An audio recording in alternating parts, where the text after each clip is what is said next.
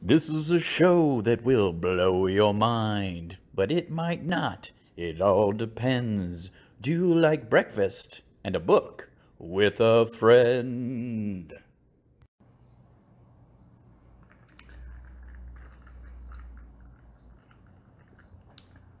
Hello, everybody. As usual, let's do some spinning.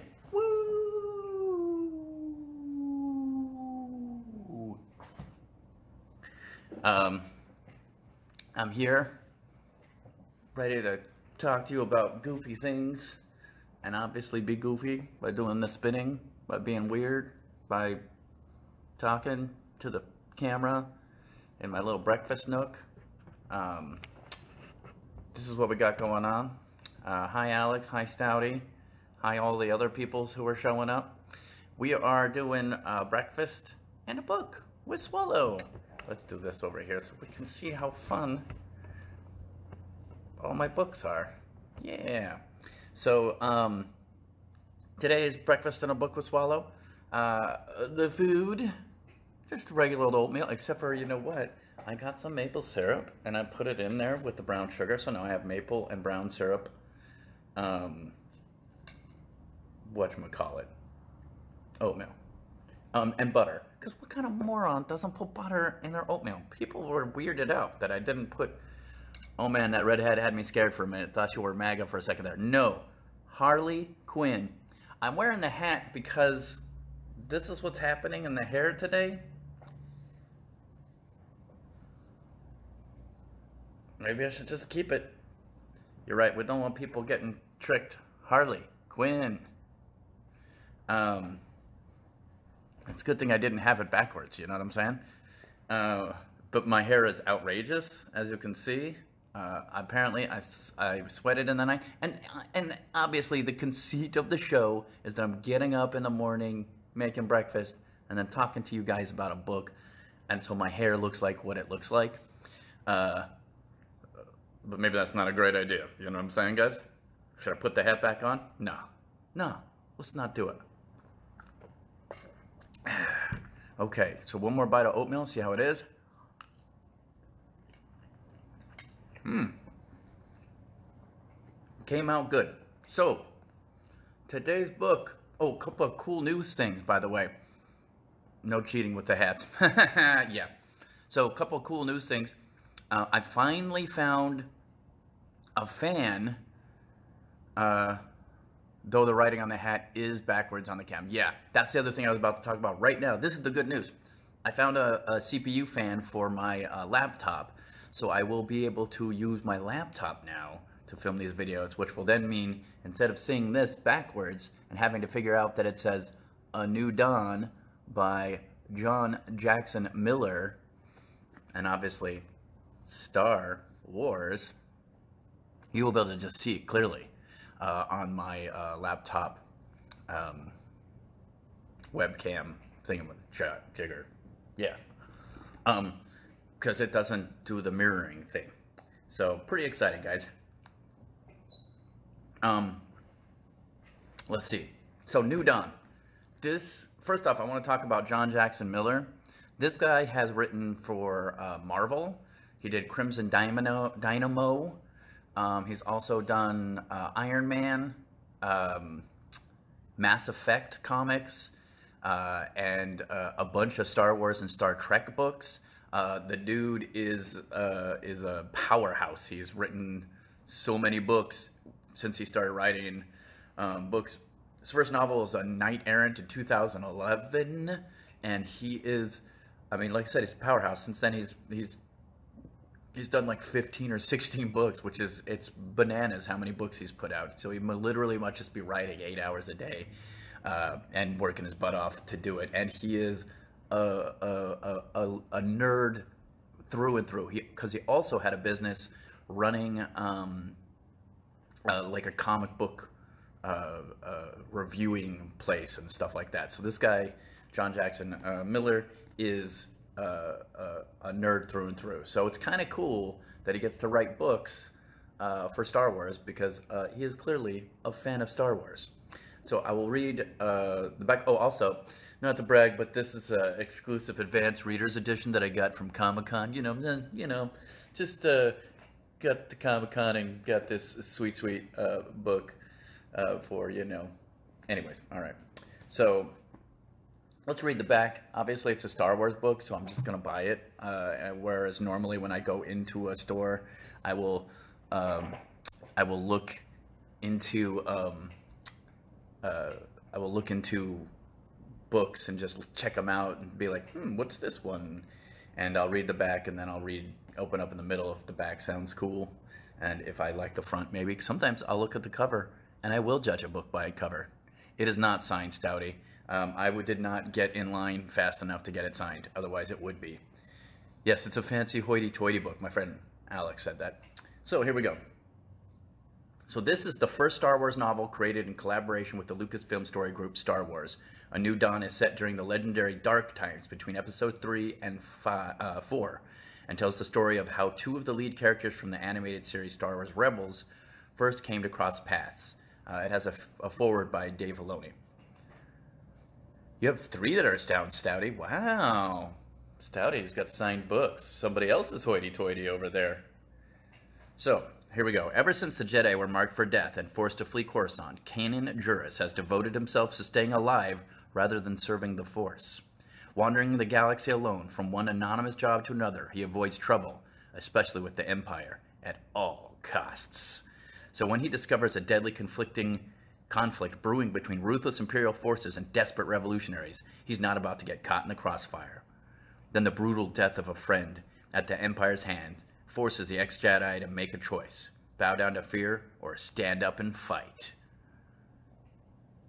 But Jarrus won't be fighting alone. Unlikely allies, including a bomb-throwing radical, a former Imperial surveillance agent, an a vengeful security officer, and the mysterious Hera Syndulla, an agent provocateur with motives of her own, team up with Jarrus to challenge the Empire. As a crisis of apocalyptic proportions unfolds on the planet Gorse, they must stand together against one of the Emperor's most fearsome enforcers for the sake of a world and its people. So yeah, uh, this book is intense and it is great, guys. Uh, the basic storyline uh, is okay. So he's working on a planet. Uh, the Empire shows up because they want more of this this stuff mined, uh, and the only way uh, to do it is send this guy in to make him make the people more efficient. And he's like, mostly robot because he was um, a rich dude. He kept his brain, his normal brain though. Anyways, he's uh, uh, so he's sort of like it's it's interesting because it's also a, a kind of talk about corporate attitudes and how they view people as numbers and not as people. I would argue that this was kind of like that because it's about the guy comes in and he's like, well, this isn't efficient, so yeah, just get rid of that guy. But in the Empire worlds, that means just kill them. You know what I mean? Uh, Stouty says, that's why I always remove the covers from my books, less judging, plus then they're all sexy and naked. That is a good point. Uh, Alex says, never judge a book by its cover. Psh, yeah, exactly. You should sometimes judge a book by its cover because you go, hey, that's a good cover. It has dragons on it. Maybe there's dragons in the book. Huh? Huh? How about that? You shouldn't judge people by what they look like. Like if you judge Stouty, you'd be like, that guy is white trash and a crazy person. But he's not. A crazy person. Hey, uh, not that I can talk any trash. Um, so, let's open up to the book in the middle and see what's going down, guys. Oh, should we start? No, we'll start it in the middle somewhere.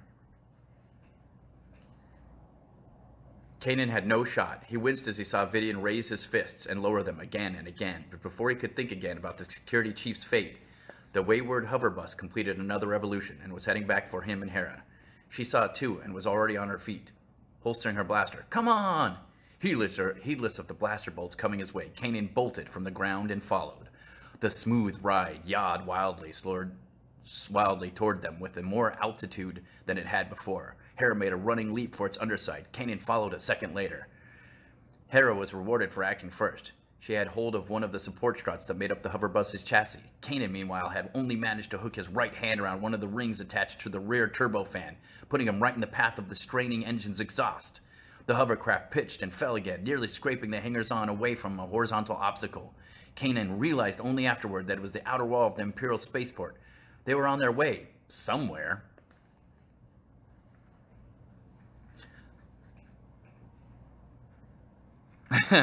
uh, Stouty said, I do have a camper in my backyard now. White trash level 3 achieved. Yes, that is uh, uh, definitely, especially because it's broken and doesn't work correctly, that especially makes it white trash. You're like, but I have it popped up. It, I can still sleep in it. Uh, Alex says, an agent provocateur sounds like a provocative, sexy agent. Um, well, she is very sexy, I would argue. Uh, she's a Twi'lek, um, and she's got the cool things, and she's like an athletic sexy lady. I would I would argue that in the cartoon she's very pretty. Her and um, Kanan eventually uh, make out a little bit and admit that they love each other. That's kind of cool. Uh, that's way down the road though. Uh, if you haven't seen Rebels, I would suggest Rebels. By the way, Rebels is a great cartoon. Uh, it's fast-paced, fun, action-packed, uh, full of like emotional moments that you wouldn't guess they would have in something like that. So that's pretty cool. Um, and this book is full of political intrigue. Uh, uh, I would say social commentary on uh, the concept of uh, corporatism and uh, the attitude of the attitude of the empire is such that you could definitely see like they're all about order and by order they mean fascism and do things the way they say or die for it so I think it's a great commentary on things that can be uh, happening now, um, I would say. Uh, and uh, especially because if you've ever worked in a corporate environment, you know that it isn't always fun. I mean, sometimes it's great. You got uh, benefits, um, you know, you, you, you, got paid vacation, you got a 401k, all that stuff's pretty exciting. But also, uh, you're just a number. Uh, they'll fire you at any moment if they don't think you're productive enough. Uh, they'll fire you at any moment if they just need to make one person do four people's jobs because they that makes the stocks go up because they don't care about people. And uh, I think that's kind of painted in this. The empire does not care about people. They care about order and they care about things doing uh, the way they want it done. And of course, obviously, when the emperor's in charge, they care about power. Ultimate power! Uh, Stouty says, but Ron, I thought Star Wars was just about fancy swords and space magic. Why you use such fancy big words? Um, yeah, uh, it's not. Uh, and yes, it is also just a space opera. Is it as uh, well thought out and philosophical as Star Trek? Um, uh, I would I would argue that maybe it's not. Star Wars is, uh, but I'd also argue that maybe it is. when you really think about it, it can be.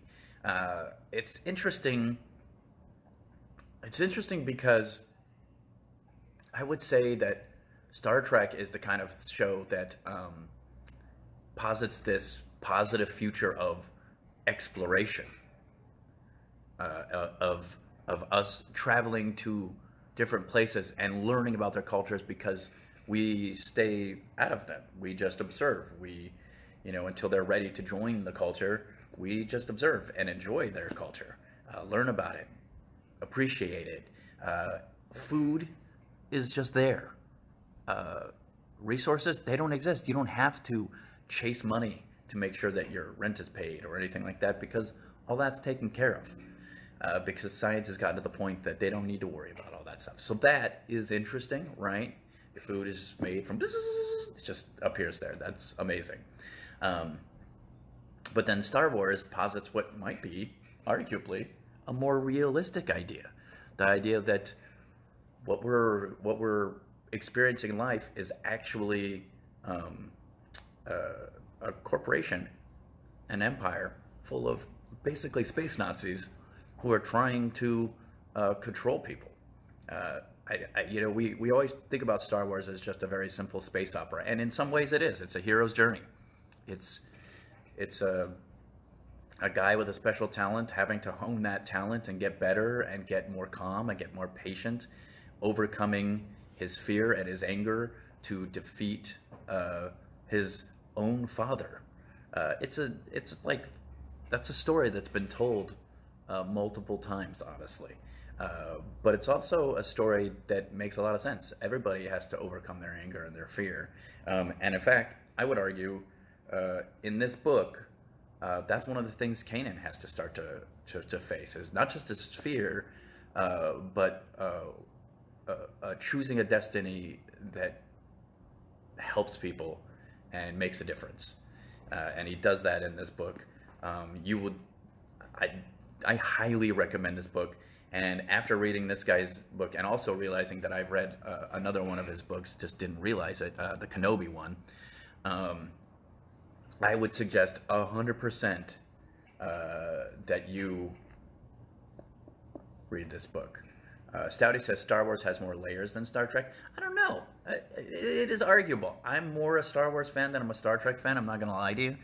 Um, but I think uh, I think I think arguably Star Wars has more layers just because um, Star Wars wins there. Fixed it for you nerds. I don't know. It's pretty close. They're both they're both great, um, and I, I love I love the idea of what if we didn't need what if we didn't need to compete for resources?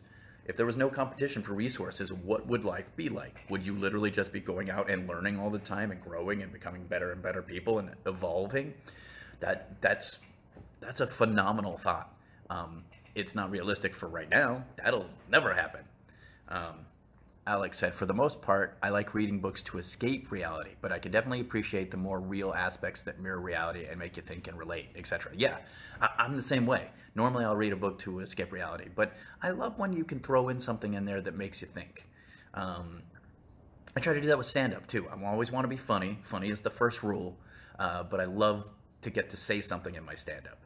Uh, I love to talk about social commentary, and sometimes you can talk about social commentary without even talking about it, just by telling a story uh, about how you treated someone nice when you didn't need to, or how uh, people treated other people bad, thought you were part of the group and you're not. You know, all kinds of different ways. Uh, where you don't specifically talk about it, but you definitely have that in the background. Um, in Nerd Goat, our podcast that I do with Ed Greer and producer Bill, uh, we definitely have a, uh, a a, a social commentary uh, through line through there. We don't mean to. It's just who we are as people, and it isn't blatant. We're not like out there talking about specific things most of the time, but it just comes through in our beliefs. So, Stouty said, uh, "I'd be breaking the holodeck's computers with my sick fantasies." Um, I think you'd just be making the holodeck happy for it getting to do creative, fun things. Um, it'd probably have to create something real for you, though, uh, like uh, like it did for the um, uh, the challenging data and uh, during the Watson, the Doctor, um, uh, the Sherlock Holmes episode of Star Trek: Next Generation. Uh, anyways, um, I guess that's about it, guys. I just wanted to r- remind you uh, out here in the quarantine, be safe, be careful, do your social distancing, wear your mask outside, listen to the experts, and also listen to uh, the majority of experts. Don't listen to two or three morons who think they're experts, who make weird videos with conspiracy theories. Please, stop doing that stuff. It'll, it's a waste of your time. Hi, Carol. I'm sorry you're coming in at the end. Uh, Monday, I'm going to do uh, Orson Scott Card. Uh, today, I did Star Wars. Um, I did this book, Star Wars A New Dawn by John Jackson Miller. Um, great author, great book, and I love the Star Wars universe, as you all know. Star Wars shirt on right now, hair out of control, oatmeal is on point. I spit on my hand, guys. I apologize for that. I'm going to edit this out. No, I'm not. Uh, Stouty said, if they don't have a YouTube show, then they're not an expert. Yeah, that's what's so funny is just people, people watch. Look, I don't know. I'm, I, I guess I'm going to be straightforward here. When you watch a documentary on YouTube, I can make a documentary and put it on YouTube. I can edit it and make it look like it's factual. I could convince you of a lot of things using editing and uh, what I like to call gobbledygook talk. That's where you say a bunch of words that sort of make sense um, sound very convincing, and then convince people uh, that something that's not true is totally true. Uh, it's not hard, and con artists do it all the time uh, because they like attention. So, you know, think about do some critical thinking. If if if if more than one place, if there's only three places on the entire internet saying that this thing is true, and it all comes from one source, and it's a wackadoo who put up a YouTube video who's trying to sell a book, maybe, maybe do yourself a favor and just ignore that video. Maybe watch it for entertainment's sake, uh, but don't necessarily think it's the truth. Uh, anyways, back to what I was saying. Star Wars, A New Dawn, John Jackson Miller. I said it a few times, but I want to get it out there. This guy's great. Get all of his books. Support his stuff because it's it's fantastic. It's fast paced. The action's great. Uh, he's uh, his description's great. He's his sci-fi is so interesting and so well written. Um, it's just it's it's just a blast. And this has the feel of Star Wars 100%. You cannot get more Star Wars feeling than this book. Honestly, it's great. So do yourself a favor, pick up this book for the quarantine. Get it sent to your house if you want to do the physical copy. If you don't, put it on your Kindle, read it on your phone, and enjoy catching up on your reading because you have the opportunity to do it. Um, and if you're a creative type, uh, make make some videos, write something, do it because you have the time. Um, Stouty says, I feel like we solved a lot of issues today. Good show, Ron. Thank you, Stouty. Uh, Alex says, uh, gobbledygook talk is basically advanced baby talk. People research and yay. Star Wars never read any of his stuff. Okay, well, that's cool. Um, I didn't get to read all of that because it went by. Hold on, let's fix that. Gobbledygook talk is basically advanced baby talk. So yes, people, research, and yay, Star Wars. Never read any of his stuff. Never read any of his stuff. You should. He's great. Um, he's read. He's written a lot of books: Star Trek, Star Wars, uh, Mass Effect. Uh, he also wrote for Dark Horse a bunch of different uh, comics and stuff like that. Uh, Carol Nell wrote The Truth. LOL. Yeah, that's the thing. Is they they're like you don't understand the truth.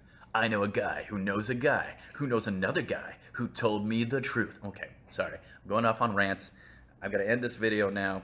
Um, like I was saying, get out there, read books. If you're a creative type, create something. Make it happen. You can do it. You've got the time. That's what I'm doing right now. I'm putting together a YouTube video uh, uh, uh, with me talking about books, which may sound weird, but it's something I love to do. And I think a lot of people love to read books and would like to hear um, about different books. So that's the goal of this uh, video series is to inspire people to get out there and read some books. I'm also going to do another series with my lady uh, called uh, Positive Spin, where we take movies and we talk about the positive parts about them. We don't tell you the negative parts because you know what? One of the things I realized is people work their butt off to make movies. And sometimes, yes, do movies deserve criticism when they're bad? Absolutely. But one of the things I want to see is us talking about the positive aspects of each movie because every movie has a positive aspect. I guarantee it. So you can go to my YouTube channel to look out for that soon. And then also you can check out Nerd Goat podcast um, and Reboot It on YouTube. Nerd Goat is obviously on iTunes or wherever you get podcasts. Reboot It is on YouTube. Nerd, Nerd Goat is where we talk about people's favorite fictional character. Reboot It, we take movies that no one wants rebooted and we reboot them and we make them good. And I promise you, you will love that that that YouTube show. It is great.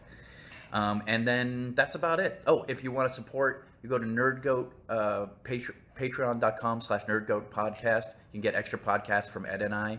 Um, and that's how you can directly support Ed and I. Uh, it uh, literally paid uh, half my rent this month. So thank you all out there who support uh, NerdGoat uh, and me. And may you all have a nice, fun day filled with reading and learning. Hmm. Bye, guys.